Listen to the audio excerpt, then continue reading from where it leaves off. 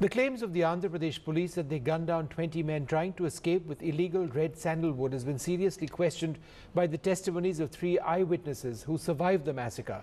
So far, they'd been kept away from the media till they deposed before the National Human Rights Commission. Now, in their first ever TV interview to NDTV, they described in detail the calculated manner in which police picked up the men.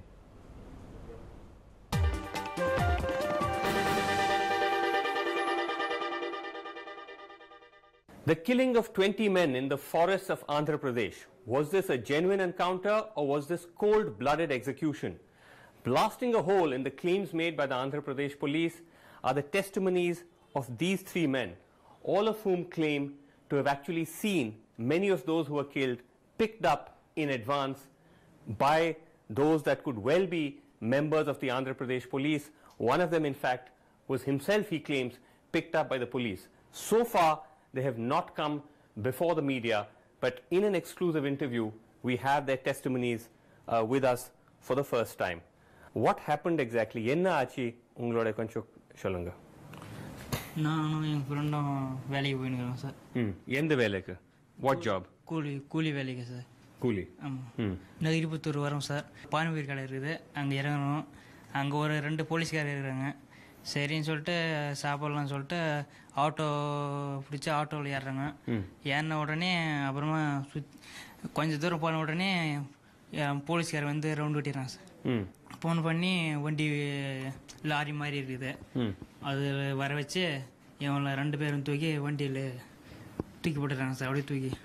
ஏன் உங்களை போட்டா என்ன எதனா சொன்னா நான் why they did it? அதெல்லாம் இது சொல்கிறேன் சார். ஒன்றும் சொல்லலையா? அதான் சொல்ல சார். ஒரு வண்டியில இன்னும் பேர் இருந்தாலா? மாமா நிறைய பேர் இருந்தாங்க சார்.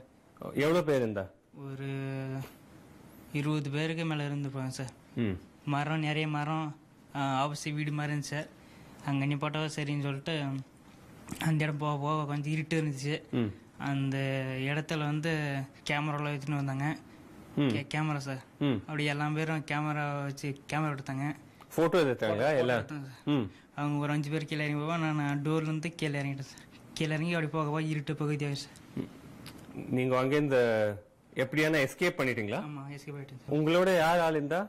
நீங்க- நீங்க வ- வீட்ல இருந்து வந்தப்போ? நானும் என் ஃப்ரெண்டு பன்னீர்செல்வம். பன்னீர்செல்வம். ஆமாம் அவனுக்கு என்ன ஆச்சு பன்னீர்செல்வனுக்கு அவன் இறந்து போயிட்டான் sir. He was shot killed in the encounter. நானும் எங்கள் அப்பா மொத்தம் நான் ஒரு ஏழு பேர் வேலைக்கு போகிறதுக்காக போனேன். இன்ஜினியர் என்னை சேர்த்து மொத்தம் எட்டு பேர் வேலைக்கு போகிறதுக்காக போனேன் பல்லென்ற ஒரு ஆள் கூட்டு போனார் வேலைக்கு. எங்க? பள்ளி. யாரு? பழனி யாரு? அவர் திருப்பத்தூரில் தெரிஞ்ச அளவு அவர் வந்து கூட்டு போனார். திருத்தணிக்கு போனோன்னே திருத்தணி ஆர்கட்டில் நாங்கள் போனோன்னா சாப்பிட்டு வரும்போது நான் நானும் கூட இருந்த ஒரு ஆள் ரெண்டு பேர் சேர்ந்து சரக்கு அடித்து போயிட்டோம். அது எனக்கு முன்னாடி எங்கள் அப்பா பழனி எல்லாம் சேர்ந்து அவங்க ஒரு எட்டு பேர் முன்னாடி போயிட்டாங்க. திருத்தணி வந்த பிறகு தான் உடனே வந்து போலீஸ்காரங்க ஒன் ஹவர் சந்தை கேஸில் பிடிச்சிட்டாங்க போலீஸ்காரங்க. அப்படின்னு திருத்தணியில் வந்து சொன்னார் அவர். சரி என்னென்ன எங்கள் ஃபோன் பண்ணால் எடுக்கவே இல்லை. அது கொஞ்ச நேரம் கழிச்சு பார்த்துக்கு பிறகு அவங்களுக்கு ஃபோன் பண்ணி இல்லை திருப்பதி இருக்கிறாம வந்து கூட்டு போ. அப்படின்னு போலீஸ்காரங்க ஃபோன் பண்ணி நான் ஃபோன் பண்ணோன்னா அவங்களும் பேசுனாங்க. எங்கள் மச்சஞ்சலுக்கு ஃபோன் பண்ணி அவங்க பேசுனாங்க. திருப்பதி இருக்கிறாங்க வந்து கூட்டு போ அப்படின்னு சொன்னாங்க. அது பிறகு நாங்கள் மறுபடியும் அது பிறகு மறுபடியும் ஃபோன் பண்ணால் ரிங்காஸ் அவன் எடுக்கவே இல்லை. சார் மறுபடியும் நான் திரும்பி வந்துட்டேன். திருப்பி வந்த பிறகு மறுபடியும் செவ்வாய்க்கிழமை நியூஸில் பார்த்த பிறகு தான் தெரிஞ்சு எங்கள் ஆளுங்க அப்பா அம்மா மொத்தம் எட்டு பேர் சேர்ந்து தெரிஞ்சு ஒரு ஆள் வந்தான் ஒரு ஆள். பஸ்ல? முடி வந்து கொஞ்சம் கட்ட கட்டியாக வெட்டினாங்க சார் அப்படி ஒட்ட ஒட்டம் ஷார்ட் ஹேர் கூடும்போது நீ யார் என்ன? எதுக்கு என்ன கூப்பிட்றீங்க? அப்படின்னு கேட்கும்போது சட்டை பிடிச்சி வெளியே தந்துட்டாங்க சார்.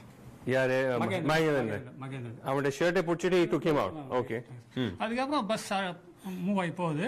மூவ் ஆகி போகும் பார்த்தா அந்த மூர்த்தியும் இல்லை முன்சாமி இல்லை சார் பின்னாடி திரும்பி பார்த்தா. அதுக்கப்புறம் அந்த ஸ்டாப்பிங் போய் இறங்கி நான் அப்படியே லெஃப்ட் கட் பண்ணி மறுபடியும் திருத்தணி வந்து நான் வெட்ட சேர்த்துட்டேன் சார். ஏன் இந்த மாதிரி முன்னாலே வந்திருக்கீங்க? Why is it important that you've come forward? இருபது பேர் இழந்து போய்க்கிறாங்க அவங்களுக்கு வந்து ஒரு நீதி கிடைக்கணும். நேர்மை கிடைக்கணும். ஏன்னா அப்பாவி தொழிலாளிக்கு வந்து யாருமே வந்து பழி நிற்கிறேன். ஏன்னா அது மாதிரி தொழிலுக்கு யாரும் போயிருக்க மாட்டாங்க. ஏன்னா இருபது பேர் தான் சாச்சு நாங்கள் மூணு பேர் தான். அவங்களுக்கு வந்து ஒரு நீதி ஒன்று கிடைக்கணும்.